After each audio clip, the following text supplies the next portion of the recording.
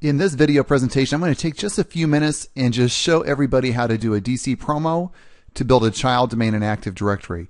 Now in 2008 and 2008 R2, it's changed a little bit from back the way it was in 2003. In 2003, you used to have to kind of go through a little bit more of a process to get the whole configuration set up. Now in 2008 and 2008 R2 especially, the process is very painless and very smooth and you can actually do this without really even knowing what you're doing, which is kind of scary. But let's go ahead and take a look at it. So what we currently have is a parent domain, which is itvideocoach.local. And what we have in that parent domain right now is we have two domain controllers currently. So we have a DC1 and a DC2. And what we're going to do is take a server that's currently just a DC3 and we're going to build a child domain out of this server. So switching over to the desktop, let's go ahead and do the uh, check of the IP configuration. So let's take a look at the network card. And we can see that the network card has got an IP address of 10.10.10.103. We got a triple 255 mask, and our gateway is 10.10.10.1.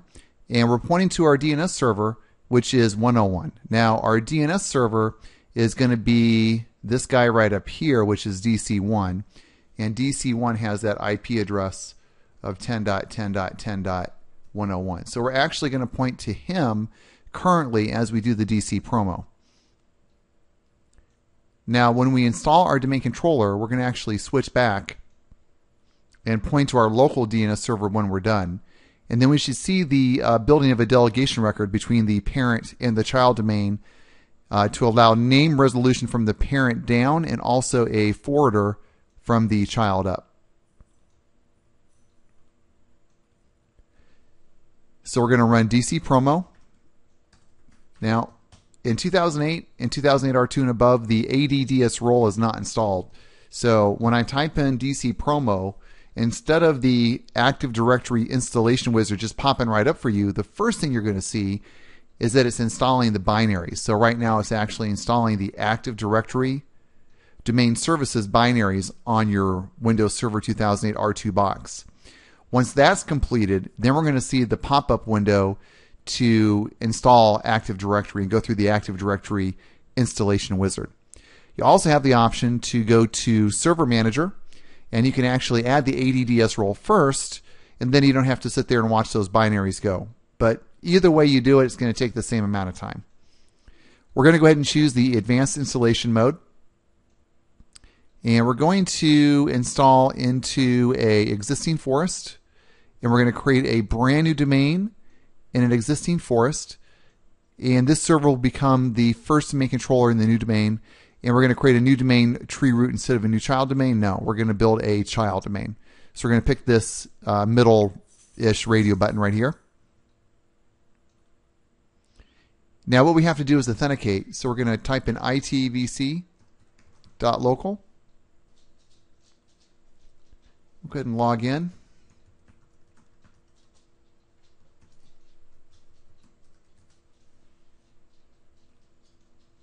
And we're going to browse out to our parent domain. And we're going to name this domain child. Keep it real simple. And it just makes sure there is no duplicate name for child out there on the network and there is not, so we can continue. And we'll go ahead and raise the level up to 2008 R2. And we're going to be in the default first site name site. Now, all these guys are going to be together in the same site initially by default, which is fine. And we're going to install DNS. And I'm going to go ahead and make this uh, server a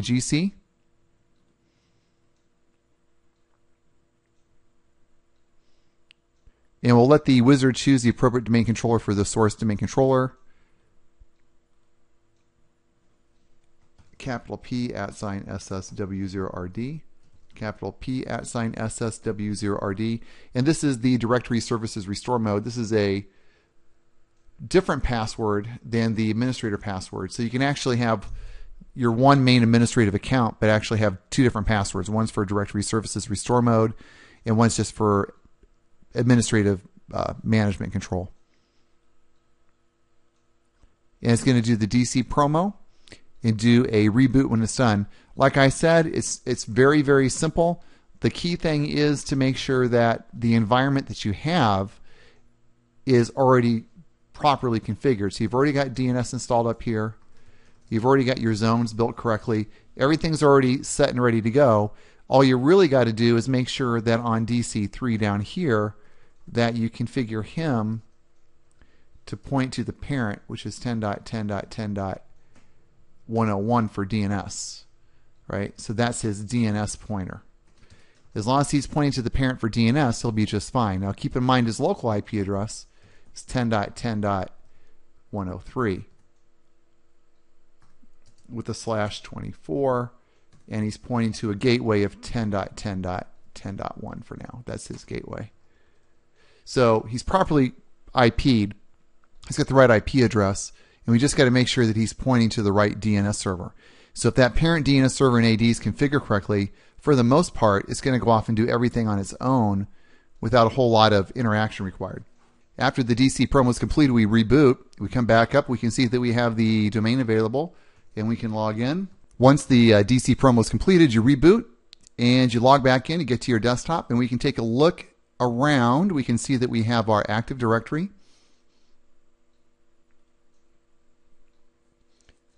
And we can see that we have child, itvc.local. So our domain was built correctly. And let's take a look at our DNS. Probably the main concern you're going to have after your DC promo of your child domain is to make sure that you have a properly configured DNS. So let's open up our DNS. Let's see if we have a zone, which we do. And let's see if we have a forwarder that points up to our parent domain. And we do have a forwarder. Now that forwarder is built automatically. You no longer have to build the forwarder. Now what we're going to do is switch over to the parent domain and we're going to look at the DNS on the parent domain and let's see if it built the delegation record for us. And we can see that we have child and there's our delegation record and the delegation record was also built for us automatically. Now, back in Windows 2003, you'd have to go through quite a few steps to get the server properly configured, to get DNS installed, get it to change to point to itself. And now all that stuff is done automatically for you. Now, if we switch back over to DC3 and we go take a look at our TCP IP settings. Now, before we started the DC promo, this network card was configured to point to the parent for DNS. Let's see if that made a change after the DC promo completed. So let's take a look and see what we have. Go to our network card and go to properties. And let's take a look and see if our IP changed. And the DNS is now pointing to himself. And we have an alternate as 101 as a backup. So if we take a look at this, we can actually say that the DNS has changed. Let's erase that right there. So after the DC promo is over, it does automatically change this. Actually, let me just totally get rid of this because it put in the loopback adapter, which is actually the better configuration. It's the correct technical configuration. It's a little bit better. It's a little bit faster. Don't have to worry about the IP address on the card changing. And this is going to be 127.0.0.1. And we can actually see that we're configured to point to ourselves. So we're pointing to ourselves is what we want. We want that server to point to himself. He's a domain controller. He has DNS installed. We have our Active Directory domain. That looks really good. And then we have our DNS. We have our zone for child. Uh, one thing that should always be noted after initial DC promo, it never creates a reverse lookup zone for you. You always have to build your own reverse lookup zone. So you might want to consider building that reverse lookup zone when it's over. And then the important two things are, is that it's got a forwarder to point up automatically. Let me just draw this in this visual here. So we have a forwarder that points up. And what the forwarder means, anytime there's a child client, if there's any computer in the child domain that needs to resolve a name in the parent, so if I'm sitting at this Windows 7 machine and I need to resolve the name of whatever it might be, xp1.itvc.local, even though I'm sitting in the child domain, this forwarder that's built for me down here in the child will automatically send me to that parent domain to resolve that name. From the parent domain's perspective, this delegation record says anytime anybody in the parent is looking for something in the child, go to DC3, and he's the DNS server down there that can resolve that for you. So, from the opposite point of view, the delegation record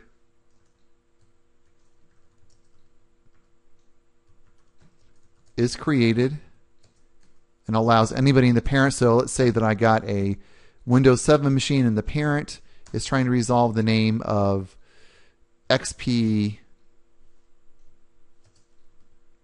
4.child.itvc.local. That delegation record will refer me to the DNS server down in the child. So there's a very easy way to remember that. We delegate down and we forward up. And it's important to know that configuration because if for some reason after the DC prom was completed something's not set up quite right, you know, you can definitely verify your configuration and make sure it's the way you want. So we delegate down and we forward up. Delegate down, forward up. And your DC promo is done. Other than creating the uh, reverse lookup zones, if you choose to, you're good to go. You got yourself a child domain. We'll see you in the next video.